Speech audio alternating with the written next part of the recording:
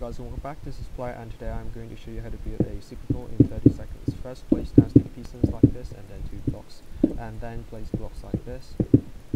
And then you're going to place a redstone here and a redstone torch here and then just place block and a block here and then put an L shape and then two redstone and two redstone here and then a redstone repeater and you want to place button here and you can outside and then you place another button here to go outside so here's it and I hope you guys enjoyed the video and I'll see you guys next time